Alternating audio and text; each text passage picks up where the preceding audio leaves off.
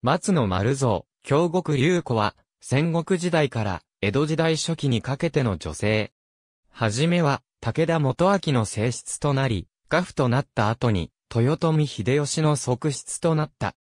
故障は、大阪城の西の丸に屋敷を与えられたことから、西の丸殿、ついで、伏見城に移ったことから、松の丸殿、あるいは、京極殿などと呼ばれた。秀吉の死後は出家して、ことぶき薫院と号した。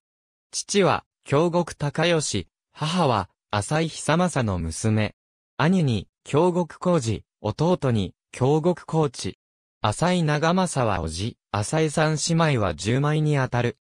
京極氏は、浅井氏の主筋にあたり、近江の湖北地方の本来の領主であったため、血筋の上では同じく秀吉の側室で、血縁関係もある、淀殿よりも、竜子の方が、名門の出身と言える。はじめ若さ守護、武田元明に嫁ぎ、二男一女を産む。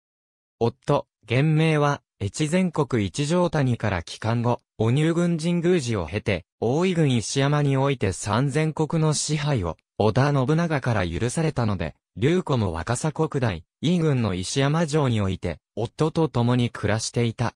しかし、原名は、本能寺の変後、若狭国の全域支配を望んで、明智光秀の味方につき、丹羽長秀、橋場秀吉の連合軍に撃たれた。秀吉の両国である北近江の旧守護家、京極市出身の竜子は捕らえられた後、秀吉の側室となった。小田原城や名古屋城に、秀吉が伴って行ったり、第五の花見でも三番目の腰を使ったり、京極家旧家臣の浅井家出身である、淀殿と杯の順番を争ったことが知られている。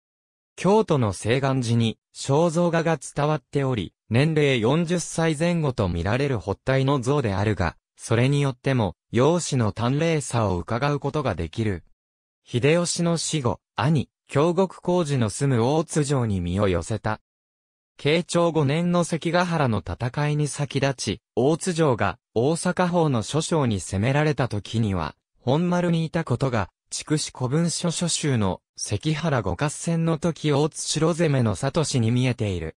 合戦後は、ことぶき薫院と合して出家し、西の東院に今日構えた。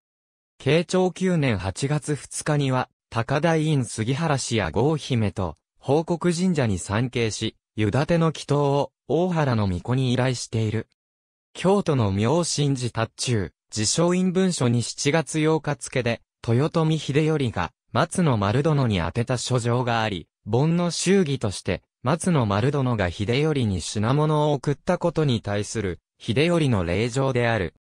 この令状の開始書に、やがて押した町入り去るこうとあるから、慶長年間に、松野丸殿が京都から秀頼のご機嫌伺いに、大阪城に赴いたことが知られるのである。大阪夏の陣の後は、淀殿の次女を保護し、また六条河原野で処刑された、秀頼の息子、国松の遺体を引き取り、西岸寺に埋葬した。寛永11年9月1日に、京都西の当院の屋敷で死去した。